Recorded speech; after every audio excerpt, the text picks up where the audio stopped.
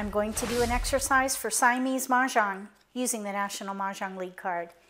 This exercise is called Siamese Force.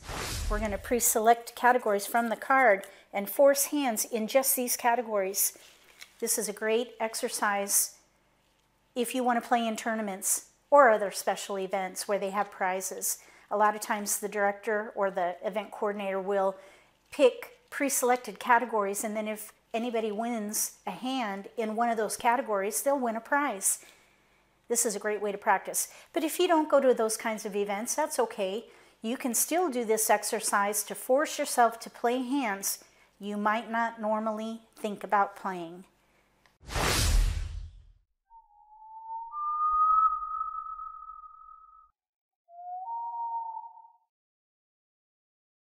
If you're new to Mahjong or if you already know how to play and just want to build your skills, consider subscribing to my channel. That way you won't miss anything.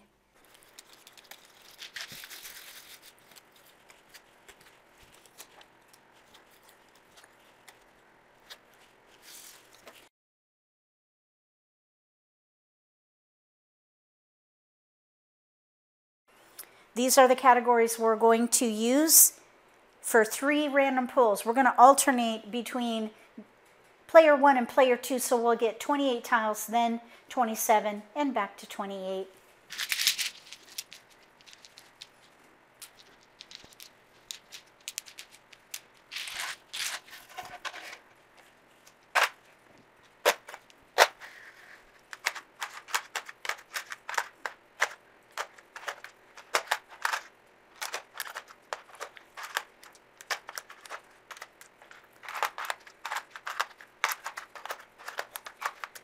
We have a couple of jokers, a flower, a white dragon.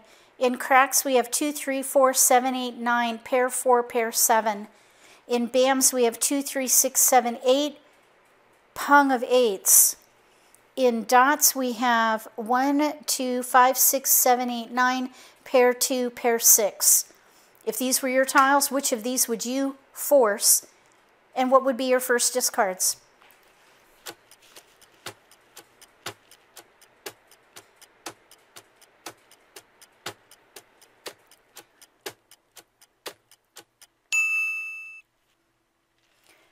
If these were my tiles, I think I would play the 7, 8, 9 pair hand and then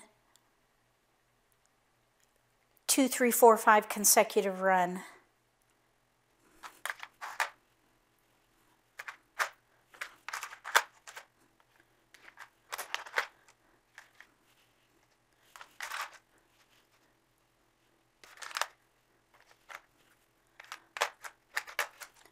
Think this is how I would do it.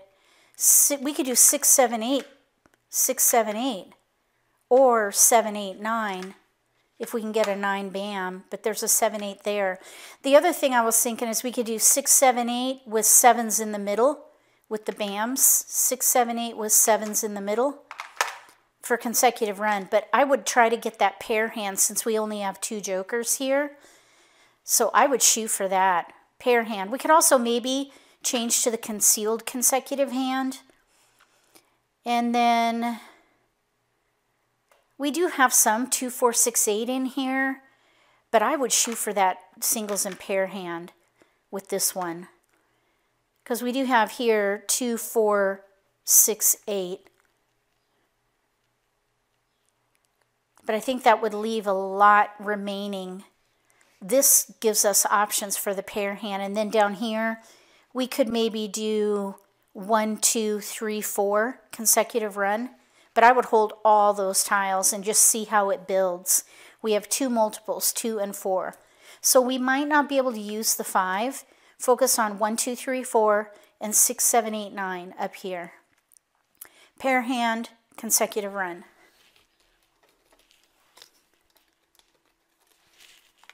Right there. Let's see. There singles and pairs consecutive run. If you would do something differently, write force one and what you would do with these tiles.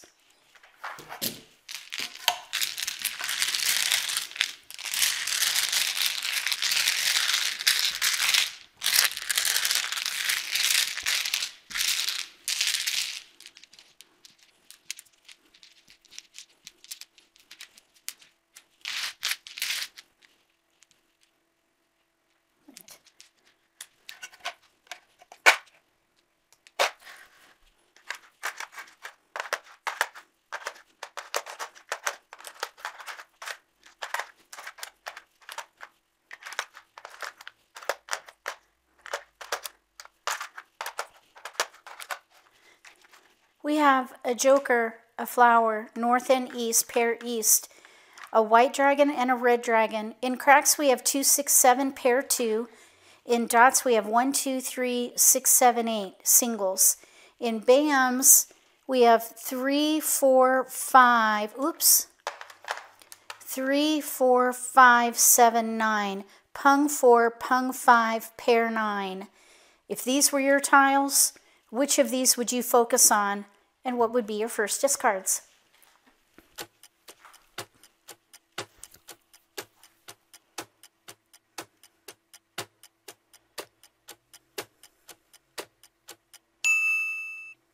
If these were my tiles, I would play a quint and a year hand.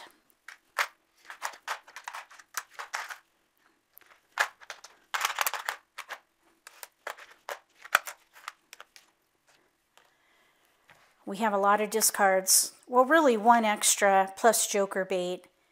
We do have some 369 in here, actually, right here with joker bait there. 369 potential. But here we have a potential quint, 4-5. 4-5 in one suit. It has, we got to work on it, obviously. We need more flowers and then we would need to quint those. But here we could maybe try for the news year hand. I would keep all twos and even the dragons. So I think that's what I would try to do here. I think we probably have as much to work with for 369 than we do the year. But at least here we have two multiples.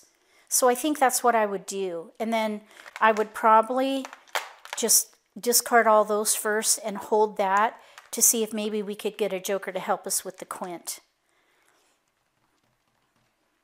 Big multiples. That would be a reason to force a quint.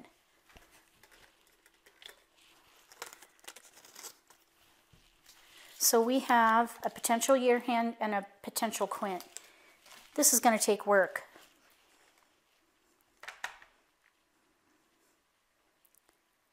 If you would do something differently with these tiles, write it in the comment section below with Force 2.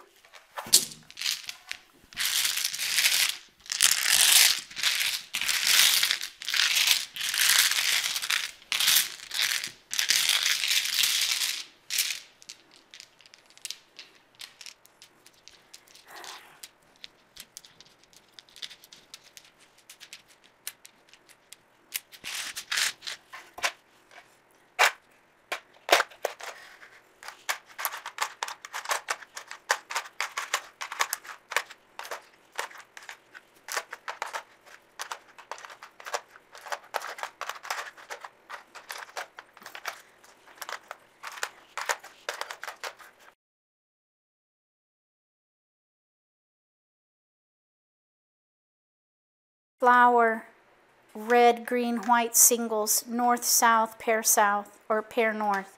Two, five, six, seven in cracks, singles. One, four, five, seven, eight in bams, pung four. In dots, we have one, two, three, five, eight, nine, pair three. We have to force two, four, six, eight, and three, six, nine. We may or may not be able to use the dragons. We definitely don't need the winds.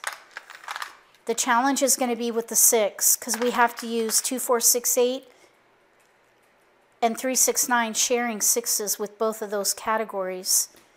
So let's see.